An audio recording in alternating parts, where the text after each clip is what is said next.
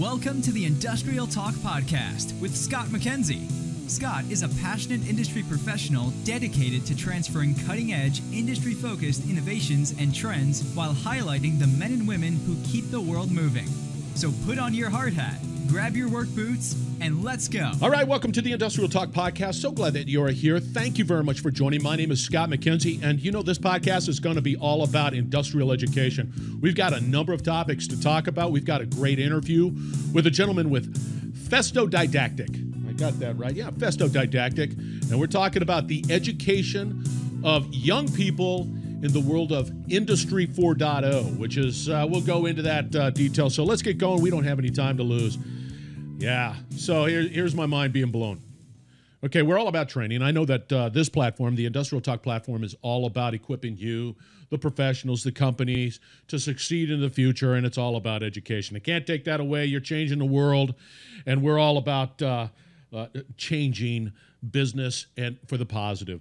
But so I'm having this conversation with uh, Thomas, and what was interesting is that uh, we do a good job at training sort of the traditional stuff but when it starts, when we start talking about the future, when we start talking about Industry 4.0, the impact it has on your business, your profession, everything associated with it, and the speed at which it is uh, evolving and growing, it blew my mind because Festo Didactic and Thomas uh, uh, Lichtenberger I hope I got that right, is uh, committed to training and teaching the youth in Industry 4.0 and the and the tools and the techniques and the, te- the technology necessary, hands-on stuff necessary uh, to to succeed in this new Industry 4.0 uh, marketplace. So I'm all about the education. I'm all about helping uh, youth succeed. And you know what? At Festo Didactic, they give you that hands-on. And speaking of hands-on they sent me, if you're out on the industrial cam and you're looking at me, sorry to hear that, but it is what it is. They sent me in the mail a Bionics for Education kit. And uh, in it is just cool stuff to building uh, a, fish, a, a uh, uh, an elephant snout. Anyway, it's it's for kids, but it's it's uh, it's Bionics kit for engaging learners and bio inspired engineering. How about that one? Bio inspired. Yeah, they just sent it to me in the mail. And if you were, like I said, if you're out in the industrial cam, you got to see it. I'm going to be able to post uh, pictures of it. But Festo Didactic, very committed to uh, all of this stuff, but really you know, Industry 4.0 and, and training the future because it's happening whether you like it or not. And if you're a company, it's coming down the turnpike. But before we really get going, I want to be able to point out also the um, a collaborative uh, relationship with uh, Infor Education Alliance program. And once again, we're about education. And this is a this is an organization that is really committed to uh, educating young professionals in the world of technology and uh, all of the stuff that's associated with being a success in the future. And that's Infor Education Alliance. And what I'm going to do, and it's not just that, they also have um, other programs out there called Gen 1. So I'm going to have all of this stuff out there linked. But I'm telling you right now, if you have kids and they're looking for uh, a, a, a profession for the future, they're Festo Didactic, Infor Education Alliance program uh, Gen 1, all of those things, spectacular. They are passionate about your success. And for me personally, at Industrial Talk, very honored to be a part of this this effort. You're going to hear a lot more about it because we're just starting to and move forward and and uh, but there's stuff to download. If you need information about it, doggone it, do it because it is real important. And like I said, if you have kids, if, if you're looking for a career change, boy, boom, here it is, man. It's all out there. Industry 4.0. Okay, so let's get going with the interview. This is with a gentleman, once again, CEO of Festo Didactic. Now, it's part of the Festo family out of Germany. And so, uh, Festo Didactic is the training component. They provide hands on training, as you can tell by the industrial cam. This is this is cool stuff, man. I'm excited because I'm going to put it together. I, I, I, don't know. I go back and forth. And his name is Thomas Lichtenberger.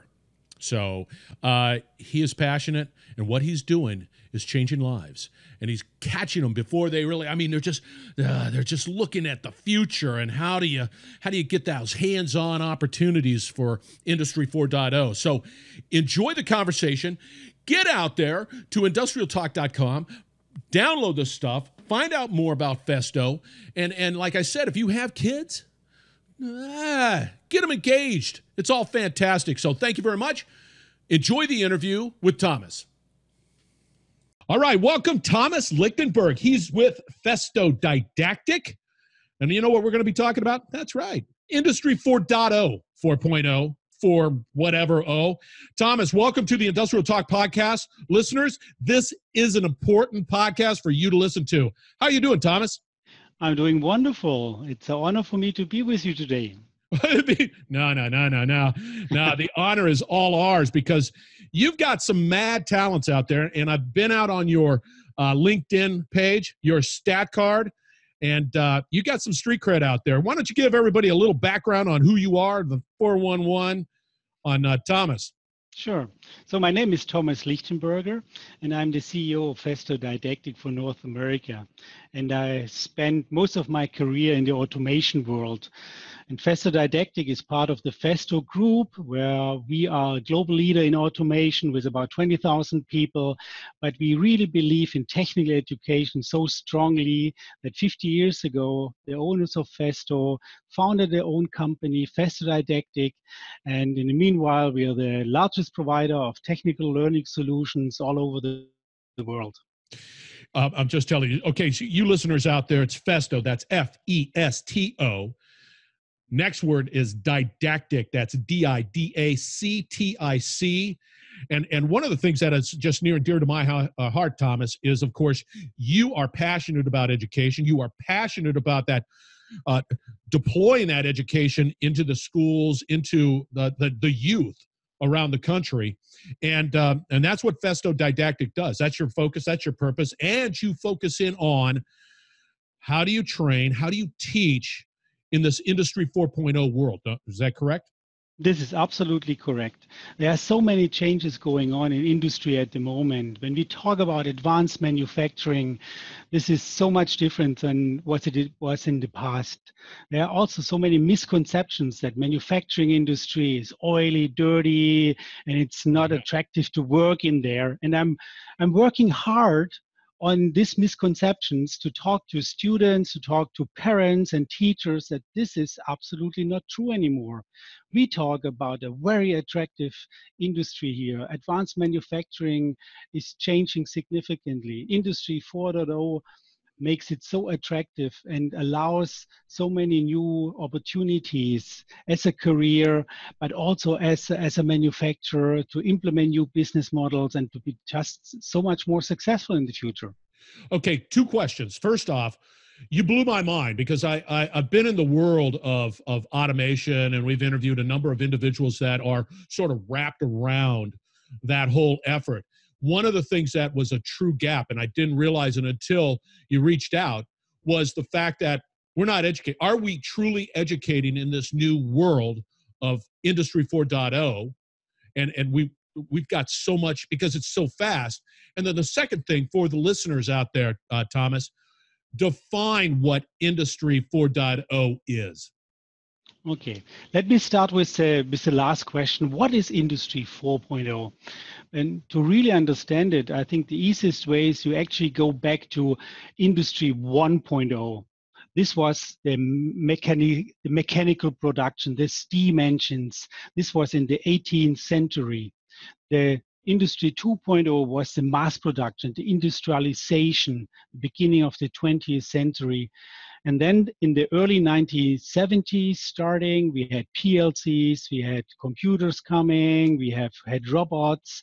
This was really the electrical automation. And so that's 3.0, like industry 3.0. 3.0. Exactly. This is 3.0. So this is the world we, we know. So we all know that there's a lot of robots in manufacturing sites. So, but what is now 4.0 and what is actually the difference? And it's pretty simple. The difference is connectivity, communication, bringing the internet into the world of production. so that now all of a sudden there, there are no stiff processes anymore where, I have a, a, a, stiff program telling the robot what he has to do and then move to the next step and so on. And now everything is connected in real time. And even to the degree that uh, products who are being produced are telling the machine how they want to be produced. The machine tells the workers when the next uh, maintenance cycle has to be applied because all of a sudden there's uh, uh, some something going on which is not usual or not typical so they need some work or machine tells the other machine oh can you please take over because i'm too busy now you know this real-time communication this is really what makes it different and and and we're going to still get to the education aspect of it because that's real important. Yes. But this sort of dovetails with it.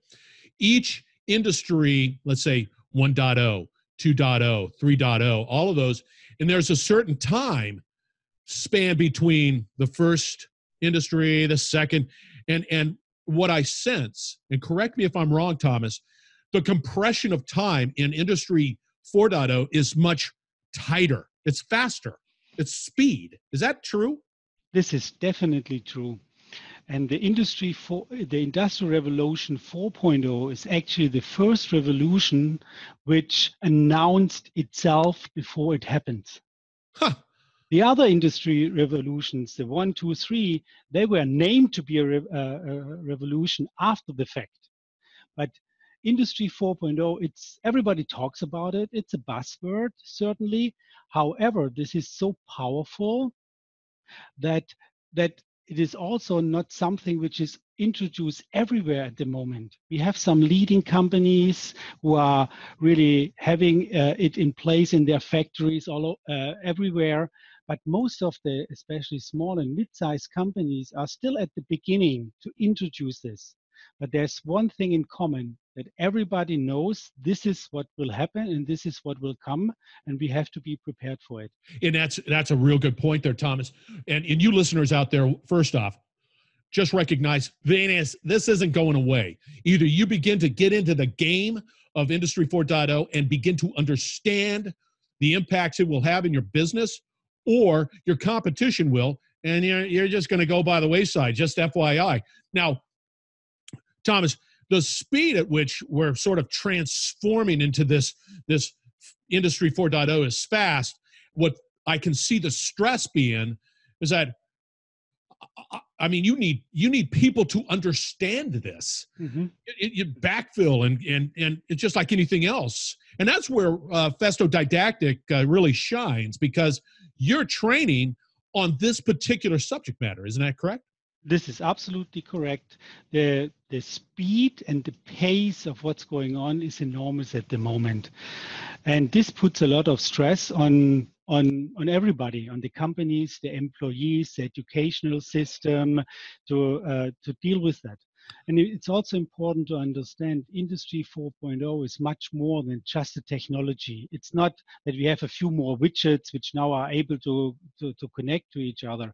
It's much more than that you know, when, when we look at the technology we have today, this might be different. Next year, we might have some other components, but being able to bring everything together, that everything can talk to each other in the same language, this is really something really special.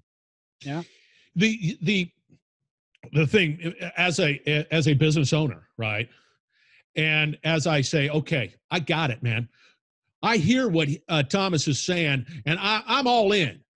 Mm-hmm. But I'll give you the example that you know I always have buyer's remorse. So I go out and I'm I'm I did my research and I go to I go to the store and I want to buy a TV and then I buy that TV and it's got this you know great bells and whistles and then the next week there's one that's better and cheaper and and and I just it's it's like I can't me business owner wrap my arms around it because the speed of the technology, the speed of the thinking surpasses me, the business owner's capability to, to consume. I'm on Fort, I'm on version one, and everybody in the world of 4.0 is like, whoa, we're at version 10. And I haven't even evaluated version one, and I'm looking at two. You know? But the but the basic principles they stay the same, and you should start better today than tomorrow.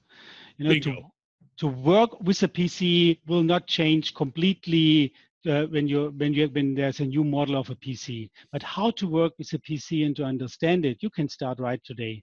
And I think, yeah, no, I agree with you hundred percent on that because you can sit there like me and and and I could drag my feet and yet the world is moving forward.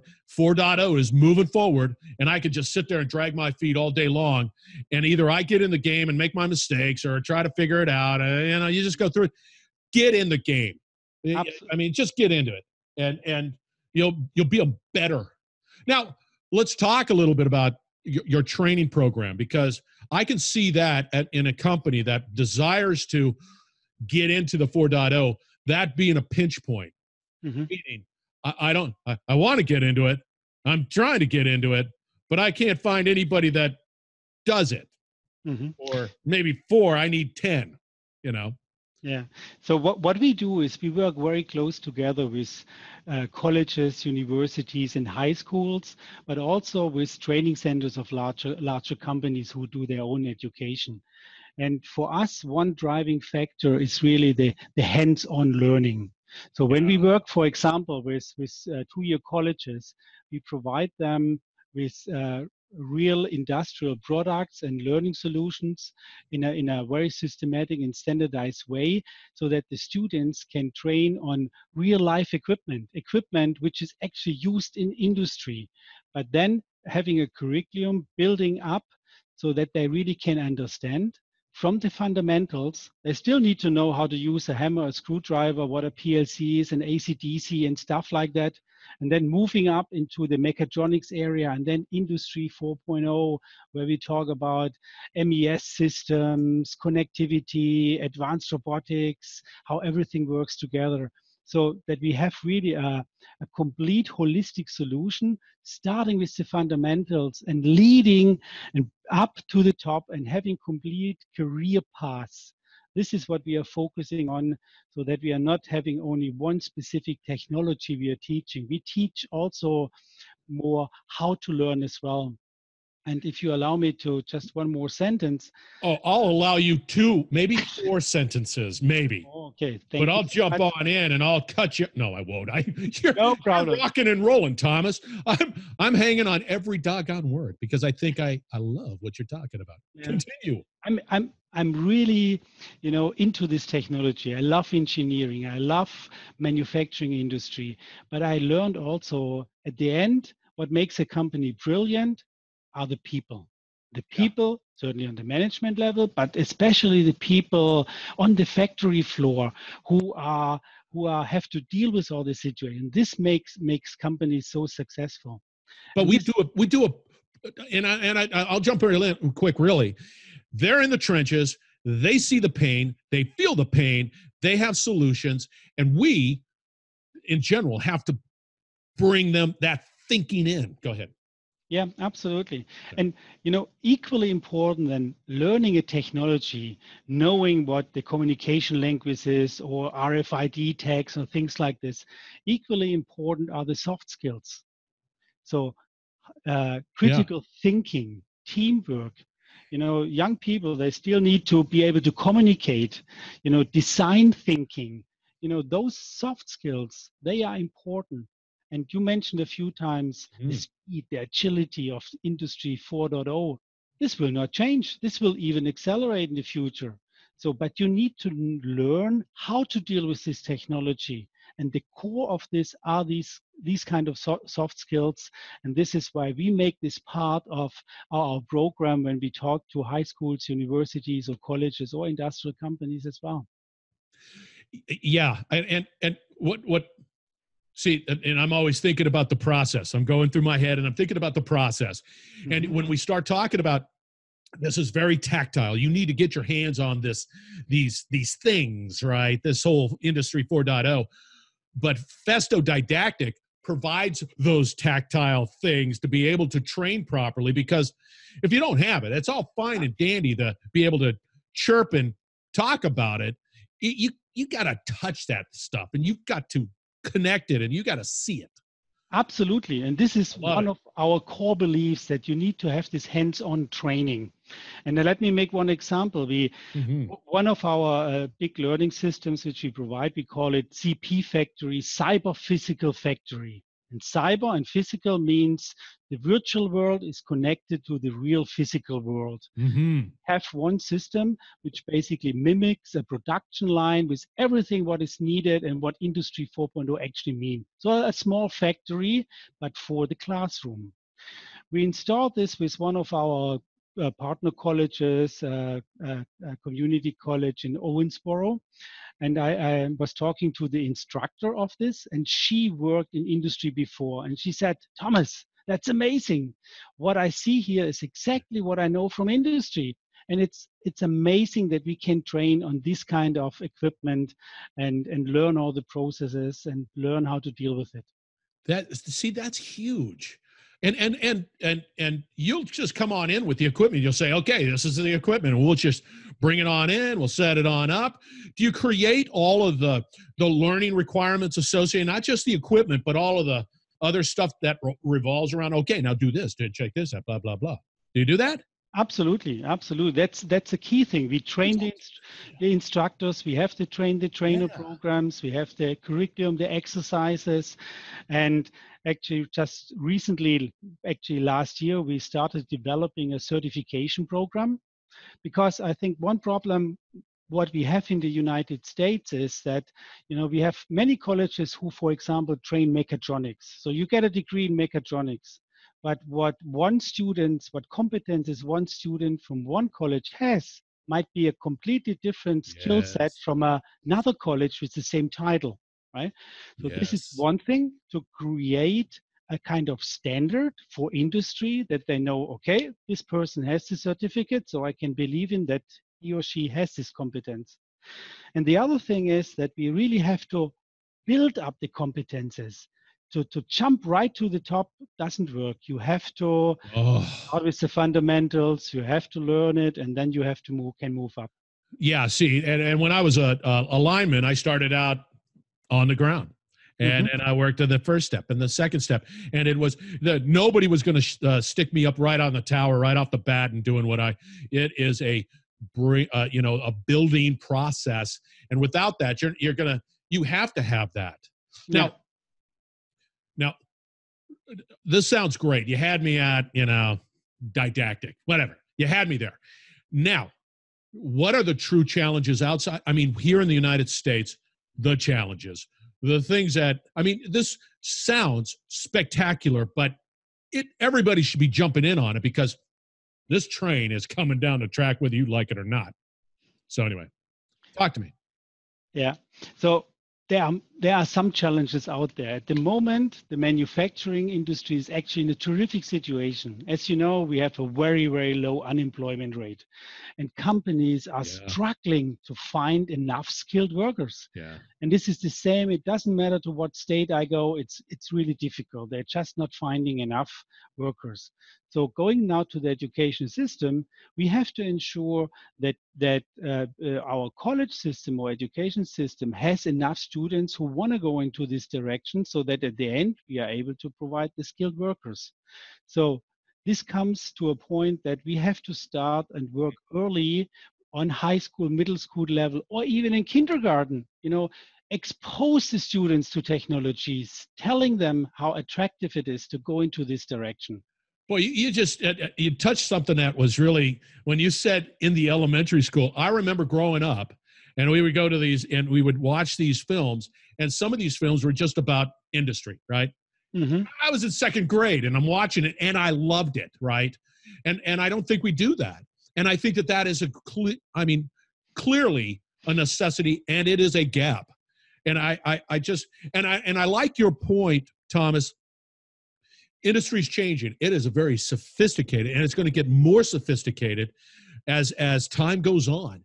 Mm-hmm. And people like you, your team, and others are really pushing the envelope to be creative, to be just changing. You're changing the world the way I look at it.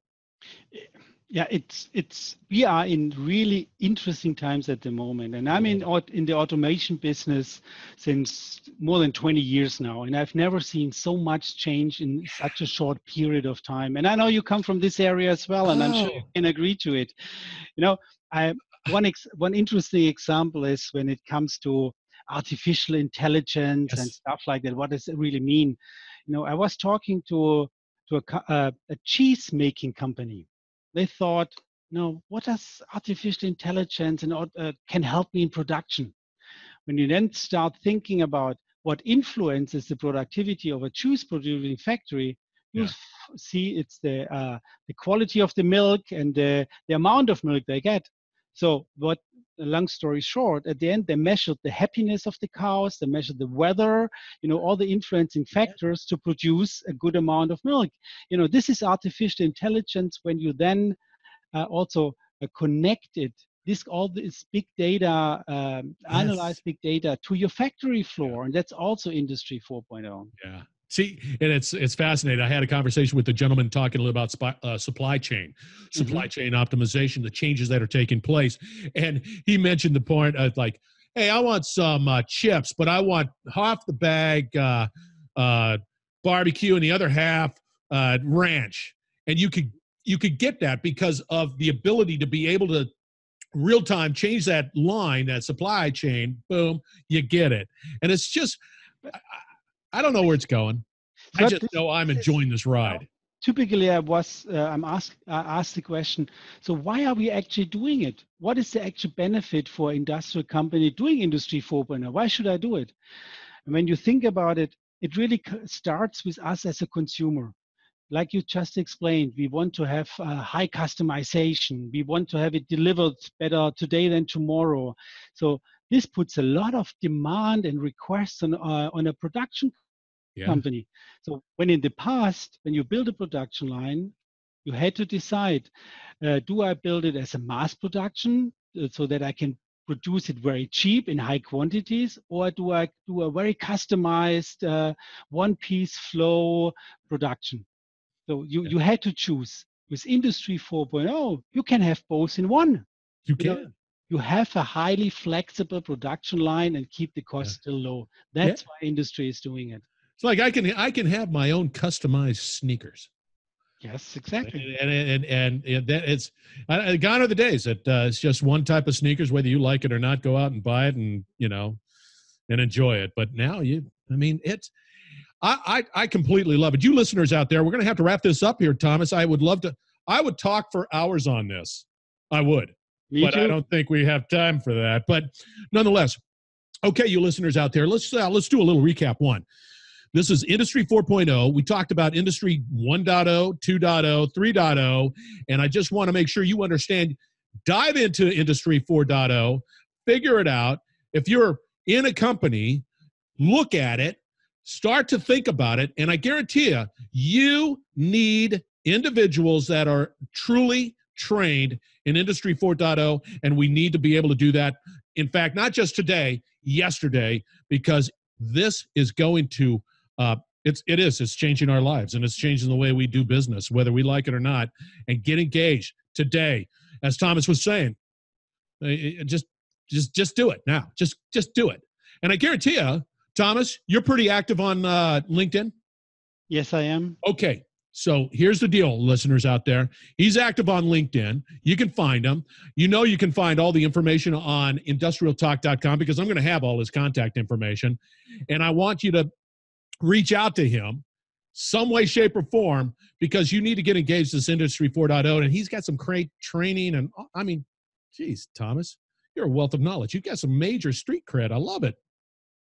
Oh, oh, oh, oh, oh, oh. And we were talking before we even started this podcast. We're going to be talking about bionics. That's right. Bionics. Festo Bionics and how that's going to be. Bionics. I mean, an old guy like me, I, I, was a big Steve Austin fan, and now we're talking about bionics? Jeez, my head is uh, blowing up. Thomas, thank you very much for joining the Industrial Talk podcast. You were spectacular. Get a hold of this guy because, well, he knows what he's talking about. Thomas, thank, thank you very much, Scott. Thank you very much. And, and you, Industrial Talk listeners, we are going to be right back. And we're going to, I'm just going to make, I'm going to lay all of this out You need to be back, and we're going to lay it all out because you need to get a hold of Thomas and his team. So stay tuned.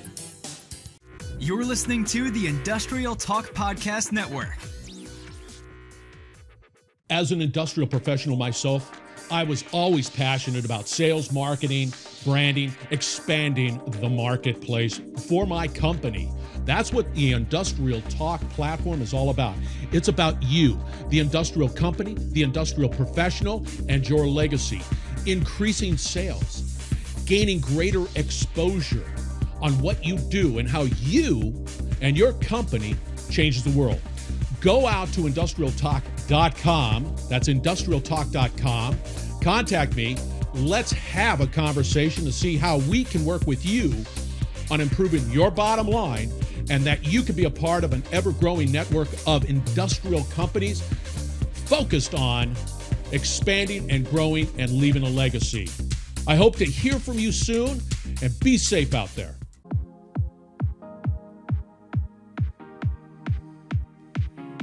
All right, let's wrap this podcast up. That's Thomas Lichtenberger, Festo Didactic. He's passionate about the future, the success, teaching, training, hands on with Industry 4.0. Uh, go out to their website. You'll have everything out on industrialtalk.com, industrialtalk.com, all the links that you need. If you have kids, pick up one of these bad boys, man. I'm telling you right now, I'm pretty excited about the opportunity to put that together, as well as look out at Infor Education Alliance program. It's all laid out there, as well as Gen 1.